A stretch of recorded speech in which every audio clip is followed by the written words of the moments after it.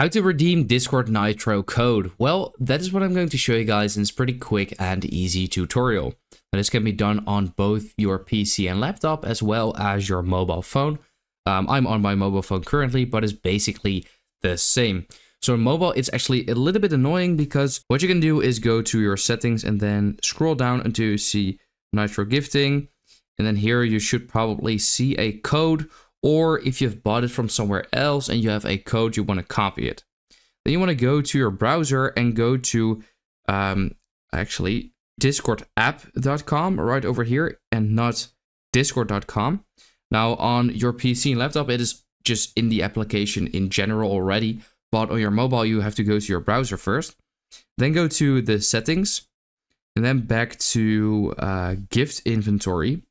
And here it says received a code for Nitro or a game. That's exciting. Enter below. So then here you want to paste in the code and then click redeem. And then you can actually redeem your Discord Nitro code. That is how to redeem Discord Nitro code. I hope this video helped you out. Let me know in the comments if it did, and then I'll see you next time.